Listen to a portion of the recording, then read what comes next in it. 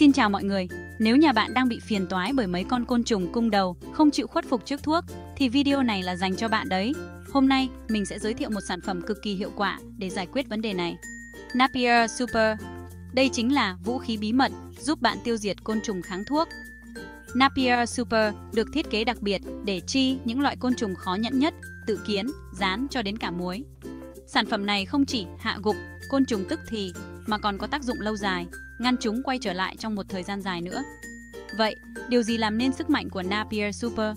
Bí mật nằm ở công thức đặc biệt của nó. Với các thành phần hoạt tính tiên tiến, Napier Super có khả năng xuyên thủng lớp bảo vệ của côn trùng, tiêu diệt chúng từ bên trong. Nhờ vậy, ngay cả những con đã luyện thành cao thủ kháng thuốc cũng khó mà thoát được. Sử dụng Napier Super cũng cực kỳ đơn giản. Bạn chỉ cần pha loãng theo hướng dẫn trên bao bì, rồi xịt trực tiếp vào những khu vực côn trùng hay ghé thăm. Nhớ đeo găng tay và khẩu trang để bảo vệ mình nhé. Hơn nữa, Napier Super còn an toàn cho môi trường và sức khỏe con người khi sử dụng đúng cách. Đây là một điểm cộng lớn, giúp sản phẩm trở thành lựa chọn lý tưởng cho mỗi gia đình.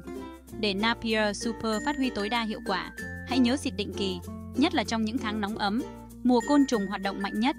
Và đừng quên kiểm tra, vệ sinh sạch sẽ các khu vực như nhà bếp, nhà vệ sinh hay các góc khuất, nơi côn trùng thường ẩn náu nhé. Bạn muốn tìm hiểu thêm về Napier Super và các sản phẩm khác? Hãy truy cập trang web diaplan.vn nhé. Bạn sẽ tìm thấy rất nhiều thông tin hữu ích và các sản phẩm chất lượng để bảo vệ ngôi nhà của mình khỏi lũ côn trùng phiền toái. Cảm ơn các bạn đã theo dõi. Nhớ bấm like và subscribe để không bỏ lỡ những mẹo vật hay ho khác nhé. Chúc các bạn thành công trong việc bảo vệ pháo đài của mình. Đừng quên, Napier Super, khắc tinh của các loại côn trùng kháng thuốc. Hẹn gặp lại các bạn trong video tiếp theo.